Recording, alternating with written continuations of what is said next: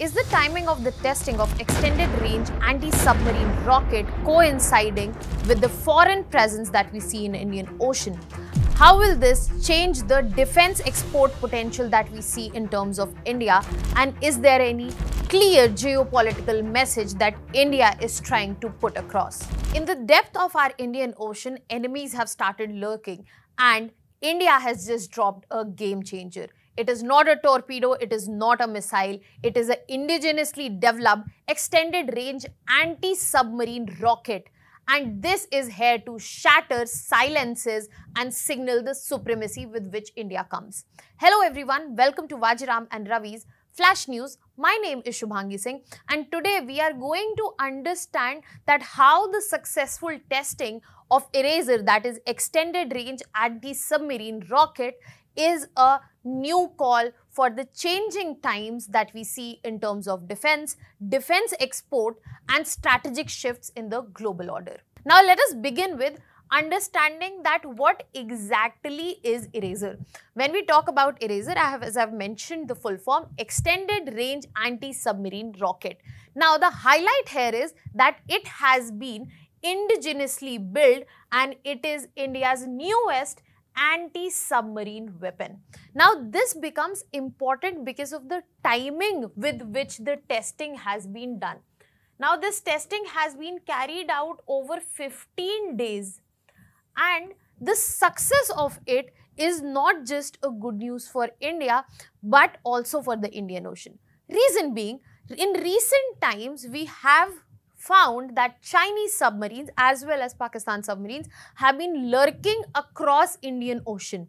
And such capabilities not only ensures our blue water navy aspirations, but also the safety and sanctity of the Indian Ocean, which also holds multiple major trade routes.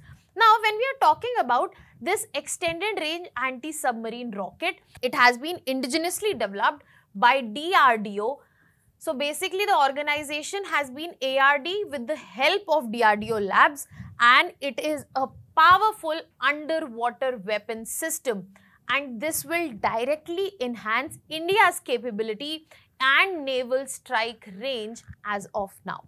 Now when we talk about this particular rocket that has been tested, it has been tested not just once, it has been tested 17 times in the duration of 15 days and it has been tested from INS Kavaratti and it has been done in real sea condition. It has not been done in induced or hypothetical condition. So it is a clear indication that if a threat emerges underwater in Indian Ocean, India is ready to strike it in real conditions. And the good news here is when we were looking to understand the precision, the target, the success rate has been 100% of this testing. So this also becomes another important highlight here. Now the facts that are present in front of us not just show the success but they also show the maturity, the preparedness and the consciousness and preciseness that they come with. Now that we have understood about the trial, now let us look and understand that why it is so significant.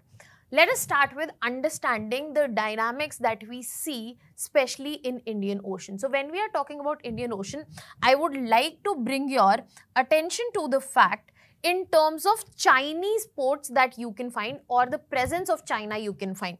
For example, if we talk about Djibouti, then we have Gwadar that is in Pakistan, presence of China. Again, we have Vindaloo which is a Chinese island.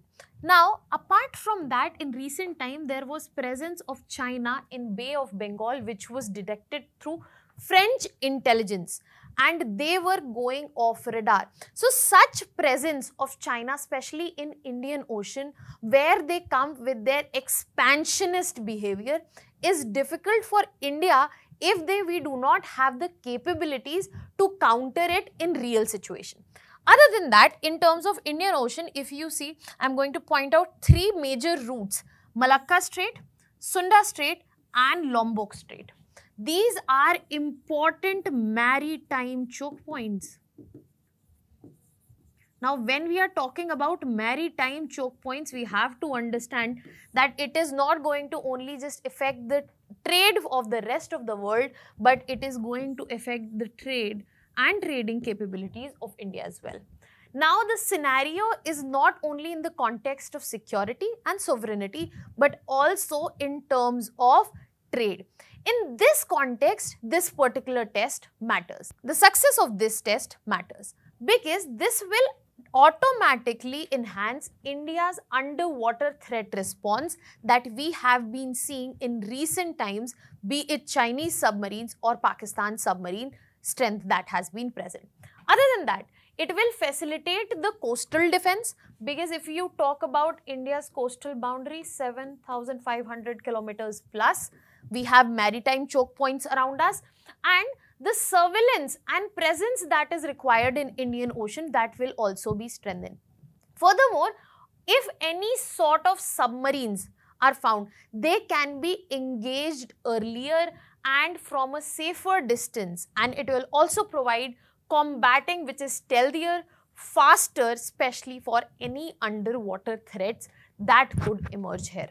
Now, if we talk about the significance, we also have to go a little beyond just the fact that what changes or what capabilities are being enhanced here. We also need to look into the technological features, the unique points that this particular ERASR brings in for us. So, if we talk about key technological features, we have two-stage solid propulsion system which has extended the reach. Initially, the reach was 5.3 kilometers. Now, it has been enhanced to 8.5 kilometers. Other than that, there is electronic time fuse. For what? So that there can be precise underwater detonation and engagement. Other than that, there has been 60% improvement in terms of range which can be credited to two-stage solid propulsion system that we are saying.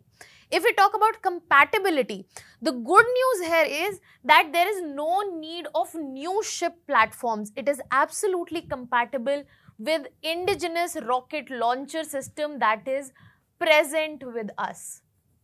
So it is not only the symbolism that is associated in terms of capabilities, the enhanced capabilities of India, Indian Navy, but also the key technological features which show the capability of India in terms of technology, in terms of defense production. And when we are talking about its significance, it becomes important for us to look into the strategic shift the ERASR's testing is going to mark. This testing and the success associated with it will be a symbol of self-reliance because India has built this rocket indigenously by the help of DRDO labs and the key organization has been ARD which is associated with DRDO. It is being manufactured entirely in India by Bharat Dynamics Limited and we have solar defense. Here we see that the whole symbol of self-reliance is present that we are capable of the technology, the protection as well as producing it, manufacturing it entirely in India and this will directly give a boost to the local industry. It will strengthen India's defense manufacturing industry. It will facilitate lessening the imports which we are dependent upon. It will decrease the expenditure of foreign exchange in terms of imports.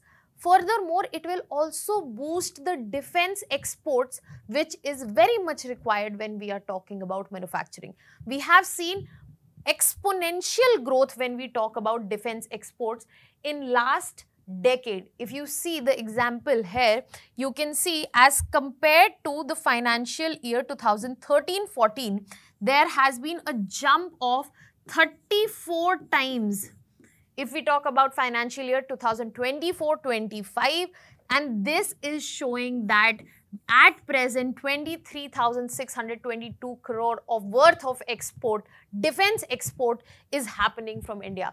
So such capabilities also enhances the demand of such goods in global market which further fuels our ambi ambition of enhancing the defense exports further and this will directly impact the Make in India idea. When we talk about the Make in India flagship program, this will have a significant boosting to it because this rocket represents India's enhancing capability to design as well as produce high-end military systems on their own without any external support and if we are able to do it, the brand we were expecting to come out of Make in India, one of those products are going to be the defense products.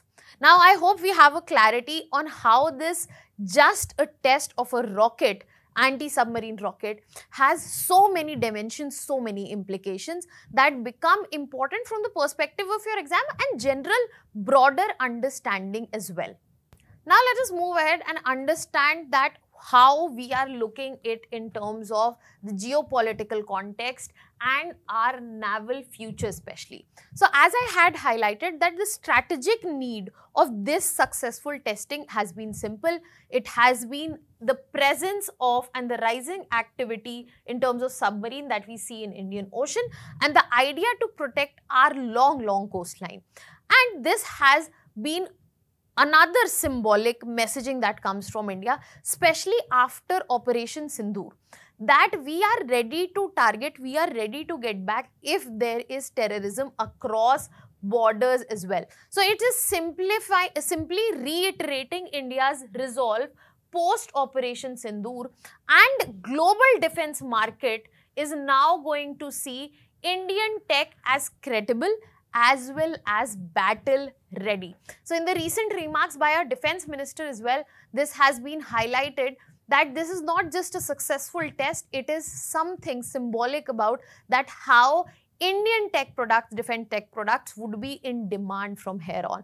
And the message through all this, it has been very clear that we can build world-class weapons and we will be ready to use them to defend our waters, land with strength, science as well as sovereignty.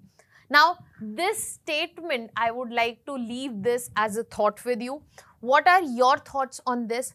Can you highlight the challenges associated with this idea and implementing this idea? That was all from my side. Thank you so much.